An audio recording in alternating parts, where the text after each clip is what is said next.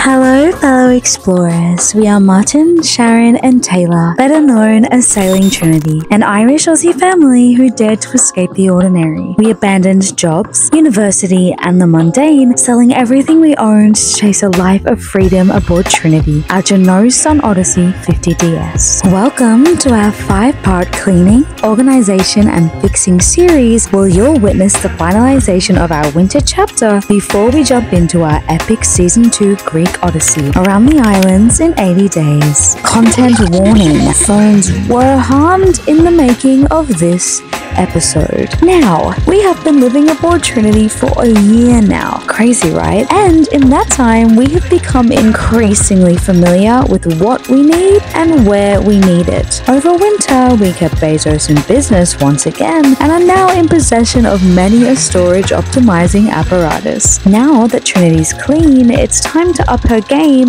and her practicality too. Join us this episode as we attempt to do just that. Don't miss the chance to support us by liking and subscribing. Your encouragement keeps the channel and crew going strong. And feel free to share your thoughts in the comments. We cherish connecting with y'all. Without further ado, let's dive right in and escape the ordinary together.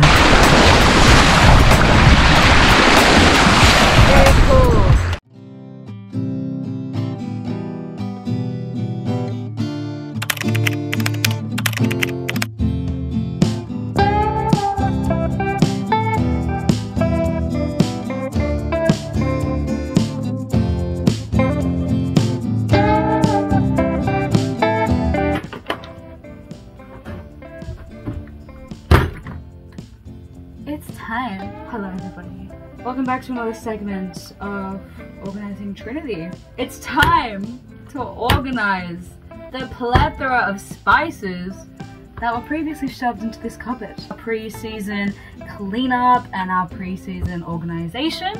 Part of that includes, you know, obviously cleaning out all the cupboards. I'm super excited.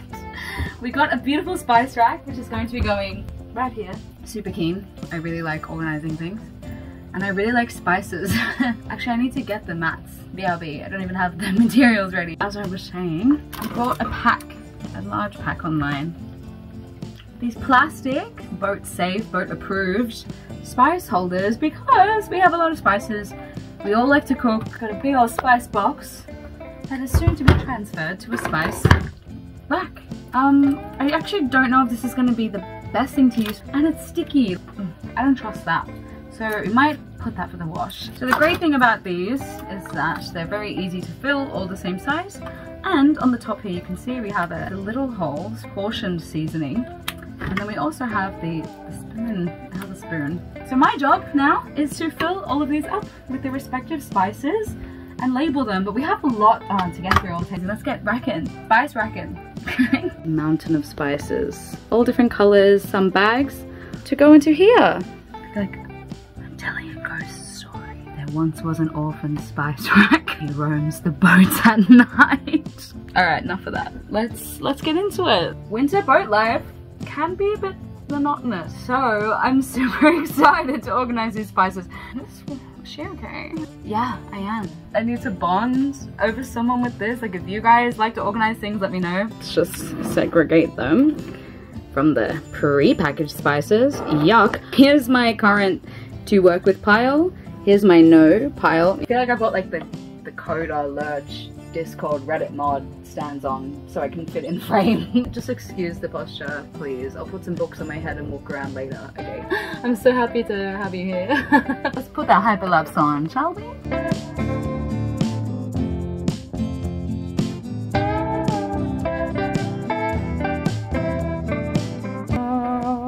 And I really went to the top. You know, I said we had a lot, we still have two bags. Let's do the lid. Alright, one-handed skill. One out of a million done. Time to do the label and on to the next.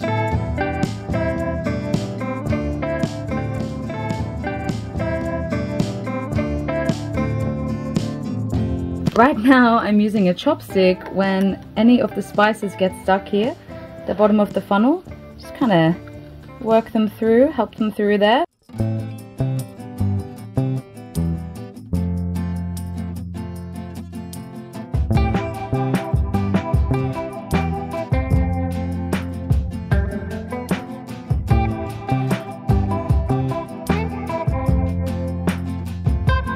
Also, it's like nighttime. How do we like the new lights? We take all your suggestions in, by the way. We've gotten some new mics.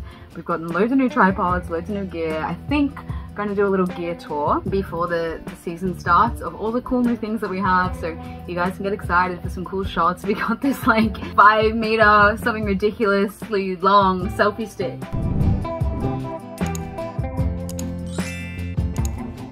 Oh, excuse the change in lighting, my light just died because this is taking a lot longer than expected. I'm not complaining, I'm enjoying, the sage is taking a while, as you can see, I'm just picking up the leaves, being so particular. And because it was so dark and I had this like studio light on me, I feel like I'm in Breaking Bad or something. Dark room, like measuring out grams of sage. it just took me half an hour to destem this sage and crush it up with the chopstick until I realized about 25 minutes into the process that I also have very heavy duty kitchen scissors.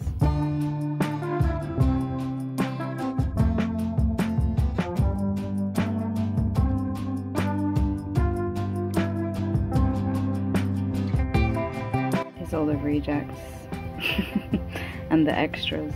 Bye!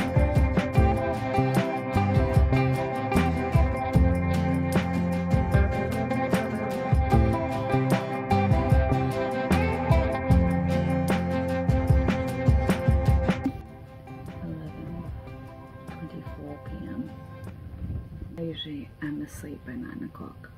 I'm gonna have like crazy lucid dreams, hallucinations after this. Peace and love guys. On to the next organizational task.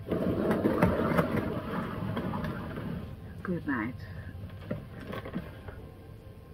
May I have some of those spices? So what are we doing right now? I'm just what we call dry fitting. I'm, I'm, I'm going to put the spice rack jars in to see how much clearance we have to go. One, mm -hmm. two. Did we get three in? I say so. Could you do another about the same height?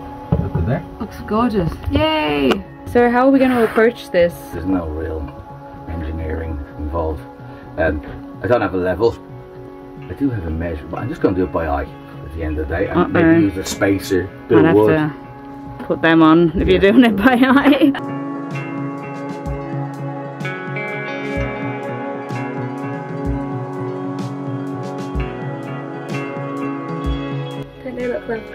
We kind of struggled getting them completely like level. Obviously it's by eye, it's totally fine. It's a nice bit of muted colour to the space. What do you guys think?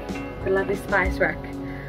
Hopefully we catch lots of fish this season that we'll be able to spice up with our, our large selection of individuals.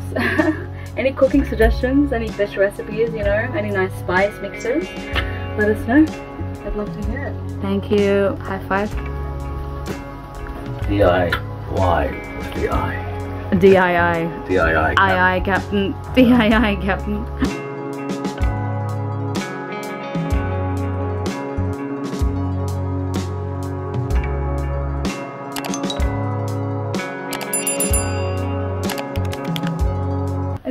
story time, very brief.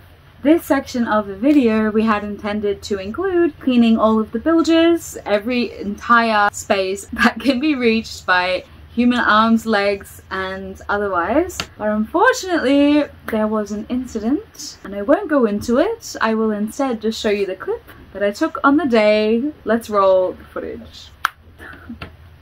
so I dropped mom's phone in the water. I am so sorry. See aftermath. Unfortunately, we did obviously drop the phone in salt water, which is highly corrosive. I would say in total the phone was down there for maybe three or four minutes in about two to three meters of water. And just by chance, there is a lovely man who just happened to see it, all the stress, us go, ah! Brave soldier goes, I'm gonna get into that filthy marina water to help these strangers retrieve their phone. No snorkel or anything. Comes off the front of his boat, swims around, asks where it is, we kind of show him around, and he just happens to be a free diver. Like, I don't need a tank, it's okay, I do this. Marie and Jorgen, who I interviewed, happen to have a dive belt as well. So yeah, we give him this dive belt, he takes his breaths, down he goes, straight back up he comes, there's the phone. uh, what I found particularly amusing is that luckily we actually had two cameras going. I had my main interview camera set up, or then I had my secondary B-roll camera set up, which is the one that fell in the water. But I did capture Marie and Jorgen's reactions to seeing the phone fall in the water. A very eventful day. You can't make these things up. I'm very glad I have a lovely, wonderful, patient, understanding, amazing mother who is okay and understands that accidents happen. I'm just glad it's been retrieved. I mean, I just think it's really uncanny that there just happened to be a man who witnessed the debacle to retrieve the phone for us. And I'm just sitting there like, I have caused a drama. It's funny, it is what it is. It was so dramatic too because it sank pretty slowly because it was attached to the the tripod. The bubbles were, and we're just watching it like, uh, uh, it's just falling. It's like, give you guys an update on the old bone situation tomorrow. Ever wondered what happens when your beloved phone takes an unexpected dip in some salt water? Let's dive into it. First off, salt water is like kryptonite to your phone's delicate internals. When submerged, it forms a conductive path that can short circuit components, leading to malfunctions or even permanent phone damage. Even if your cell phone boasts waterproofing, salt water can still seep in through ports and compromise its integrity. And a reminder that salt water isn't just H2O and salt. Chloride ions in salt water accelerate corrosion, corroding metal contacts and electrical pathways much faster than fresh water ever could. In fact, studies show that saltwater damage is a leading cause of phone mishaps, especially during summer. Talk about a buzzkill. Good morning everybody, just a little update on the phone, the one that I drowned. I have it right here with me, this little box. Came home, did some research, found a brilliant place in Athens. I rang one of their customer service technicians. He gave us an address, he said, no problem, you can ship it to us. I was like, great. Because Athens is about a five hour drive and we don't have a car with us. So here it is, the lovely little Samsung. The drowned S20 is in this box. So yeah, I'm on my way up to ACS in Preveza to ship it. And it gets there nice and quickly because obviously time is of the essence when we have salt water potentially corroding. The real stress of this is that we took two weeks off the channel in order to film, right? So we did a lot of filming in these last two weeks. Like we've done a lot and especially on this phone. Note to self, probably shouldn't have put that one really close to the water, should I? No. And hopefully we'll drop this off and we'll hear about it. Very hopeful. Army crew. Look, I made them go outside because I couldn't talk when they were in here. Are we very hopeful? Very. Think Oh. positively. It's Oh. all gonna happen. It's Good Friday. Maybe on Sunday the phone shall resurrect like Jesus Christ himself. we'll, we'll see. We'll see. Alright, I'm gonna take this now. Um, peace and love. And we'll just have to see how we go, won't we? Yeah.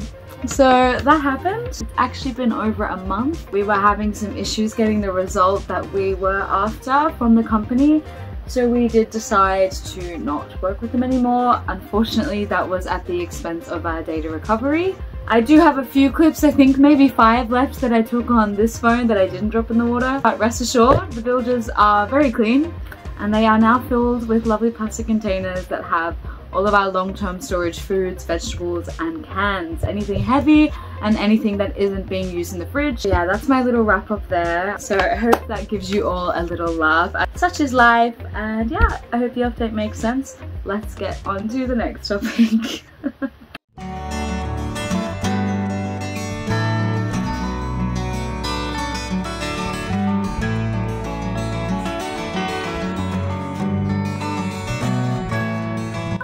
So the next thing that we're aiming to improve efficiency and organization on is our kitchen drawers. So when we moved aboard the boat, we bought a pack of like 50 assorted utensils and then over time we kind of collected a few more things. We do like to cook. Eventually we had three cheese graters, 10 ladles, 50 peeler. It was just a lot and they were all in the drawers.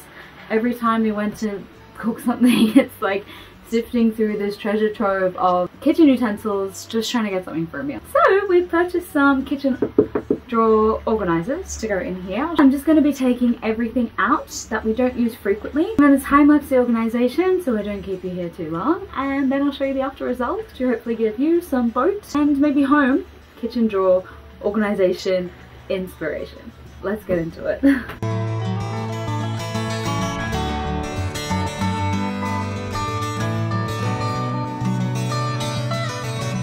is drawer number one. She's not the prettiest girl in the pageant, but everything is fitting well enough and it's much better than it was with everything just strewn haphazardly around the drawer. Big scissors, knives, and frequently used tongs.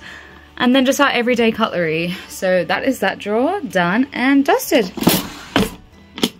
On to the next.